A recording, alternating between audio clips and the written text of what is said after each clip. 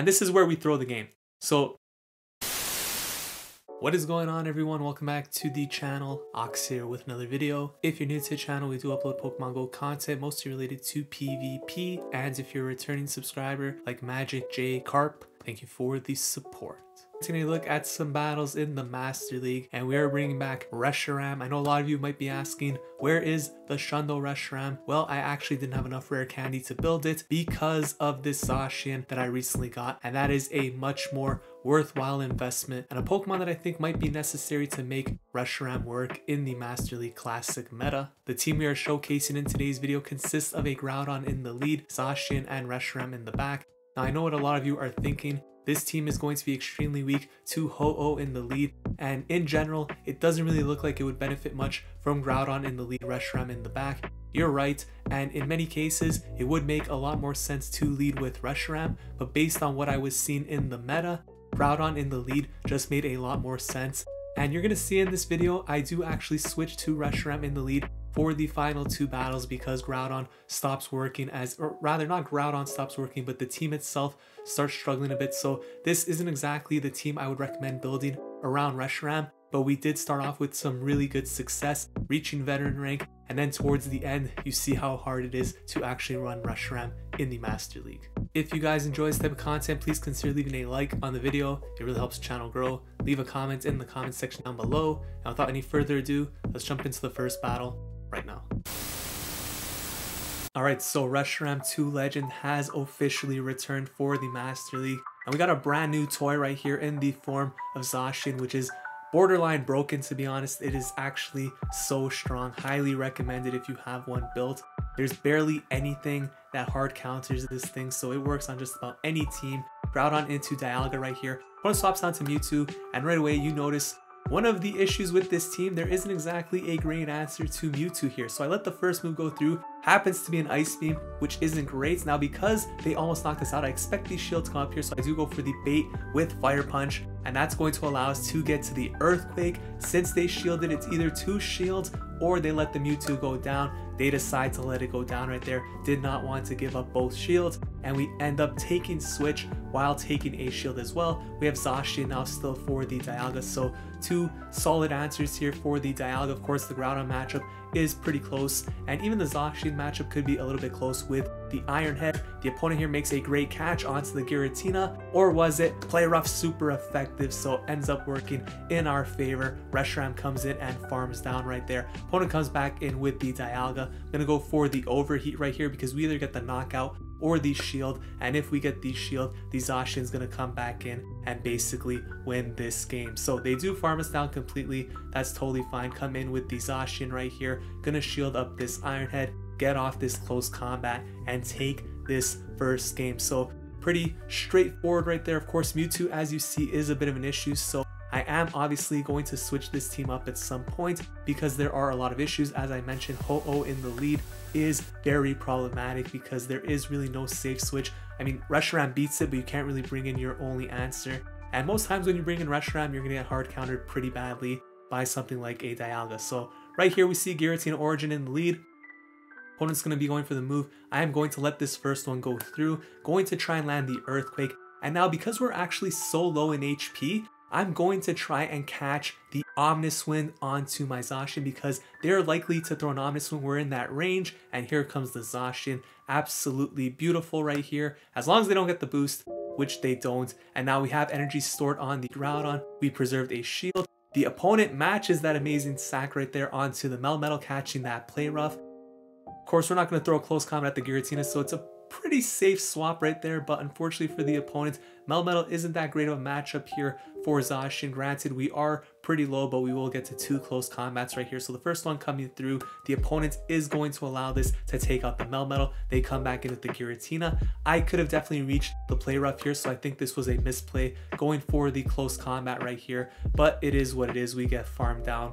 Gonna come in with the Reshiram here. We do have two shields, and of course, we do want to shield up in case it is the Shadow Ball. It won't KO, but if they have something like Dialga in the back, we obviously want to keep this thing healthy. ends up being an Excadrill instead, so not looking too good here. Reshiram has a lot of issues in this meta. Excadrill is one of them. Overheat would KO, so I'm going to throw this move right here. Remember, we have energy stored on the Groudon, so this is going to get the shield, swap out into the Groudon. Going for the Fire Punch right here. And the important thing to know here is that this does not KO. If I get to the Fire Punch, I do not want to throw it. I want to be able to come in here and farm down the Excadrill as opposed to having the opponent coming in and farming down the Groudon with their Giratina, which could give them the energy lead they need to take out the Reshiram. We do survive a Shadow Ball right here, able to farm down and take that game but it definitely came down there towards the end of that match, getting that, or rather preventing the opponent from getting that farm on us, might have won us that game. Either way, we do take that battle 2-0 to start off the set Groudon into Zacian. Groudon's actually one of the better responses for Zacian in this meta. There aren't too many things that really counter. Of course, something like Metagross is going to be really good, but Groudon is a pretty decent answer as well. Going for the Earthquake, they decide not to shield swap out into our own Zacian, hopefully looking to catch a Wild Charge or Close Combat, but they do go for the Play Rough. So that's a bit unfortunate. I'm going to shield up this time. It is another Play Rough and the opponent swaps out into Giratina Origin, which again is one of the more standard answers for Zacian in this meta. Play Rough comes through, does a bunch of damage. I'm to get to this Play Rough right here, hoping they give up the shield at this point, which they do. And now they actually can't farm down before we get to another close combat, so that is going to force the opponent to dump some of their energy right here. That takes out the Zacian and at this point could come in with either the Groudon or the Reshiram. Besides come with Reshiram because it's more likely we will farm down before they get to a move. Dialga in the back, so I swap out into the Groudon right here. A great catch from the opponent onto this Earthquake. That is amazing. Zacian gets taken out. Dialga comes back in at this point. I figure I'm just gonna go for two fire punches here and basically put this thing in the range where Reshiram could come in and just farm it down if need be. The opponent is going to throw. I actually decide to shield here and get off another fire punch. This is a bit of a risky play, but I was pretty confident that we would be able to get to two fire punches here, so it's not too bad. It does get the shield there from the opponent. As you can see, we do get to the next fire punch. If they were able to farm us down and somehow get to the Draco Meteor, of course, that would have been really bad news for us, but we do take that game 3-0 to start off this first set right here, pushing for that veteran rank. Zacian lead once again into our Groudon. This time the opponent is going to swap out immediately into the Giratina Altered. And I thought this was actually Giratina Origin, so I swapped immediately. Giratina Altered is a bit more problematic for Reshiram, not as dominant of a matchup because it does have access to Dragon Claw, which is very spammy and dealing super effective damage. So going for the crunch right here, the opponent does shield. At this point, we don't win in the one shield, so I decide, you know what, the defense dropped on the Giratina. Let me just lose this, come back in with the Groudon, and go for one of the most aggressive farm downs ever. And course, I'm not gonna be able to farm down completely. I will have to throw a Fire Punch, but Fire Punch is basically resisted damage. With the defense drop, it's like a decent amount of damage. It'll basically put the Giratina in the range we want it to be for a complete farm down here. Even throwing the Excellent, as you could see, we'll take another move here, preserving our shields, but I will go for the complete farm down right here. We are at 100 energy. They come in with Zarude. I threw blindly, obviously kicking myself right now because Fire Punch would have been dealing super effective damage. But Zacian has a pretty good position to be in here against the Zarude in the back and also have a shield advantage against the opposing Zacian. So I'm to throw this play rough right here. That goes unshielded. The opponent is going to throw a move. We are going to let this go through. It is a wild charge. So that's very, very nice for us. To shield up the second one.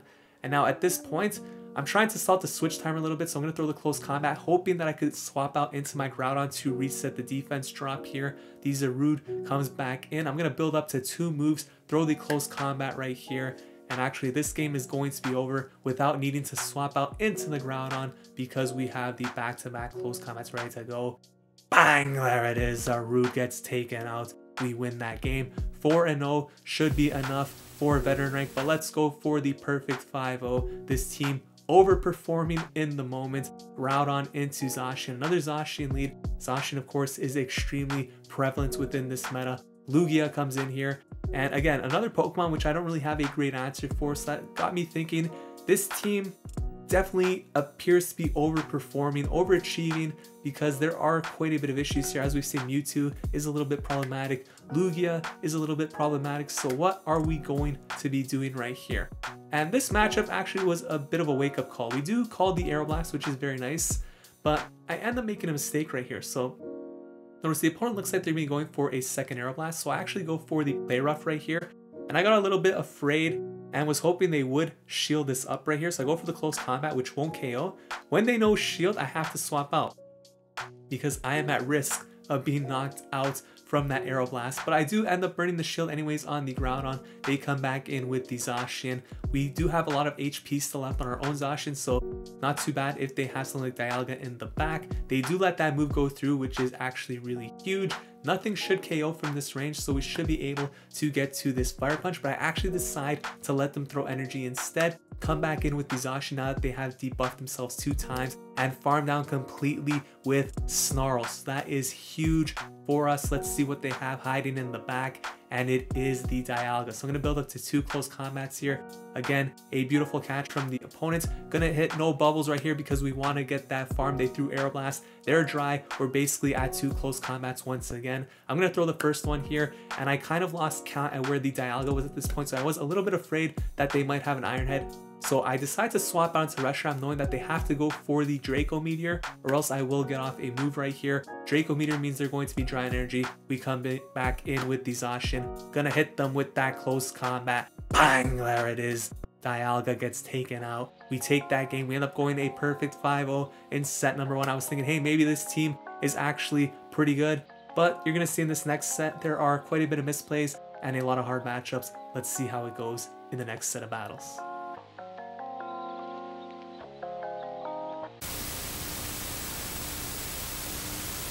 So jumping into set number two, and we are leading Groudon once again, this time into Dialga. So again, we've seen this in the first battle of this video, and we also saw this safe switch of Mewtwo.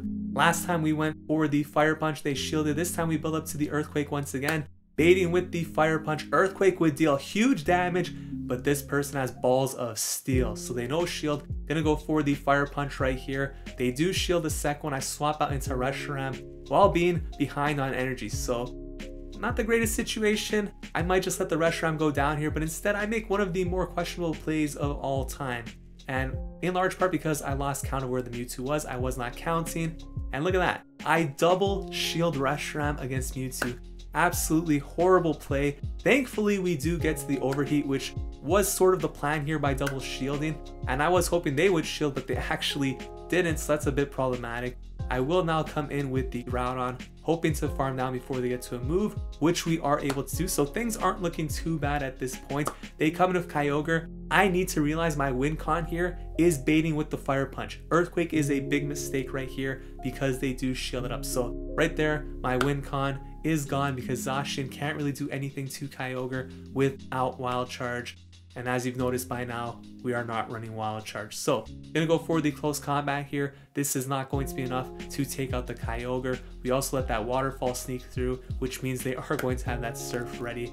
And that means we are going to lose this game right here. The Mewtwo is basically dead too. So actually, if we didn't let that Waterfall sneak in, maybe we could have won that game. Actually, no, probably not. Still, would end up losing. But the win con there was basically not getting that Fire Punch or rather not going for the Earthquake, getting the Fire Punch bait with the shield, and then landing the Earthquake later in that game. Either way, it was a winnable game that we ended up losing. Well played to the opponents. Definitely got outplayed right there. Giratina Origin into Groudon right here. So it's almost like a replay of the first set in terms of what we're seeing here. Going to once again no shield the Shadow Ball, build up to the Earthquake, I always want to overfarm in case they do try catching onto a flying type of some sort. Earthquake comes through and again, we're going to try and catch the Omniswing onto the Zacian because there's no point for them to throw Shadow Ball there. We're low enough for Omniswing. So Zacian takes that very well. Get met by a Metagross right here. So, gonna go for the close combat. Uh, we're ahead on energy by quite a bit right here, and the opponent is going to shield that up, which means we get to a second. I decide to no shield this. I will come in here with the Groudon. We have a Fire Punch more or less ready to go here. Basically got Earthquake even, so I'm gonna get off two Fire Punches here most likely, I think. Fire Punch comes through. and I swap out into the Reshiram and there's a bit of lag. So maybe I should have thrown that Fire Punch instead of swapping immediately into the Reshiram, but I figured Reshiram with two shields here is in a pretty good spot. We do call the Meteor Mash. I know here I need to overfarm in case I have something like the Dialga in the back. I'm expecting another Meteor Mash here, so I decide to no shield, and it's an Earthquake. So I just threw the most winnable game of all time. Reshiram in a position to just basically steamroll the competition right there with a nice overheat crunches ready to go. And I got a little bit cocky with that no shield and we end up losing that game. So definitely a misplayed game right there. And now we get rewarded with the worst lead we could possibly see here in the form of Ho-Oh. And it was at this point that I realized if I lose this game, I'm probably going to switch to a Reshiram lead. Groudon plus Zacian in the back, two Dialga answers because we're making a lot, of, a lot of misplays. I think the first set, the 5-0, we did play well, but I also think we just got a little bit fortunate with either opponents making misplays or just getting the right calls half the time. But right here, you could see we're not able to win this in the one shield. So I have to end up burning both shields. And here comes Mewtwo. And this game is basically over because without any shields and no hard counter to Mewtwo, there is absolutely zero winning this match. I come in with Reshiram. And unfortunately, I'm not going to get to this crunch in time, which means that we're going to get taken out here without even getting a shield from the Mewtwo. So things are looking horrible. I could come in with Groudon, but I'm actually not even ahead on energy. So if I do, it's going to be a CMP tie on Psystrike. I can't even catch on Zacian if I want to because it hurts so much. And the Mewtwo is about to sweep this entire team. So Ho-Oh lead, Mewtwo safe switch. Absolutely problematic for this team and we are going to get destroyed. They even bring in the Dialga to give us a little bit of hope right here. Gonna go for the close combat. I basically need to build up to like three moves right here, which isn't going to happen.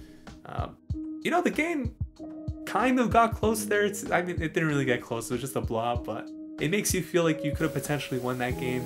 But again, Ho-Oh is definitely the worst lead to see with this team. So definitely need to rebuild this team and we bring in the Reshiram lead, and now we get to basically replay the last matchup, this time with Reshiram in the lead instead. So Reshiram is a pretty solid matchup right here. Gonna throw the crunch here on the CMP to the Earthquake. Definitely are going to have to shield up the Earthquake because basically we'll one-shot Reshiram. Even at this range, I'd imagine. Earthquake is going to come through. We do shield it up. They swap out into Zekrom. Here comes the Groudon. So things are looking very good at this point. You might be thinking, how could we possibly lose this battle? We probably can't unless we start making mistakes, which is very common on this channel. So Earthquake coming through, when I see Ho-Oh plus Zekrom, I'm thinking it's a Dialga in the back. So we'll see what they come in with here. I was kind of expecting the Ho-Oh, but they actually bring in the Dialga. Didn't look like I'd make it to the Earthquake, so I'm just going for the guaranteed damage here with the Fire Punch, or maybe even the Shield. They decide not to shield, very nicely done. I will have to come in here with the Zacian, and this is where we throw the game. So I probably should just shield here, but I decide not to. We do survive anyways, but I expect them to swap out after throwing that move, and they didn't. And because they're staying in, we just gave them the game. So a huge misplay on our part. You want to talk about misplays? We're currently 0-3 in this set. We're about to go 0-4 in this set. Reshiram gets demolished by Dialga right there. If we had Best Buddy on the Reshiram, we would get one more damage for the Dragon Breath. And for some reason, I go for close combat here against the Ho-Oh. I mean, neither move's really doing anything, but I did not want the damn smoke. So I backed on out of that match. We are 0-4, trying to salvage the 1-4 set here after going 5-0. Reshiram into Lugia. This is a pretty awful lead. And Lugia is actually pretty horrible for this team as well. So as you can see, there are a lot of issues with this team. And despite that first 5-0, I left in the second set because I didn't know I did not want to fool you guys thinking this is an OP team that's just going to win. As you can see, this team has a lot of issues and it's important for me to showcase this second set here and let you guys know that I too lose a lot of battles we win sets, we lose sets, we went 5-0 with this team, now we're about to go 0-5, right? So we got a crazy farm down there on the Lugia, which is actually very nice. Groudon comes in, we're gonna throw the play rough right here, and the opponent actually decides to overfarm quite a bit, so that's gonna allow me to get to this close combat. And they're still deciding to overfarm past this, so that gets me to another close combat, which will likely see the shield come up from the opponents. And I decide here, hey, like, we're so debuffed, they'll probably just go for Fire Punch. If they do, it'll do a lot, but we'll survive. I'll swap out into our own Groudon. I want him to be dry on energy right here.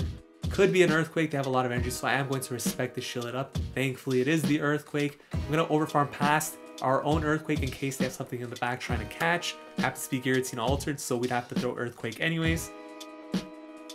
And thankfully for us, the opponent doesn't really have any nuke moves, so we could overfarm past the Earthquake right here. Gonna build up to 100 energy, throw the Earthquake, which will knock out the Giratina, and now it comes down to a race. I could have swapped out and pretty much guaranteed this victory, but I didn't think they were already at an Earthquake, so I felt we were okay here. They actually are in an Earthquake, so we're trying to throw another game right here. Thankfully, we do get to the close combat, and we are going to win a game going 1 and 4 in this set after a complete debacle of battles. Started 5-0, next set 1-4. This team definitely needs to be reworked, but Reshiram is a spice pick.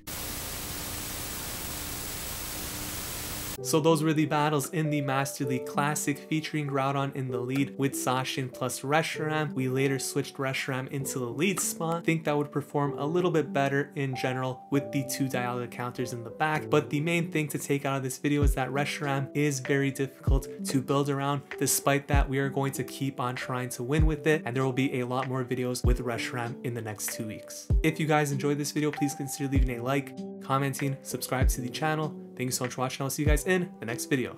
Take care.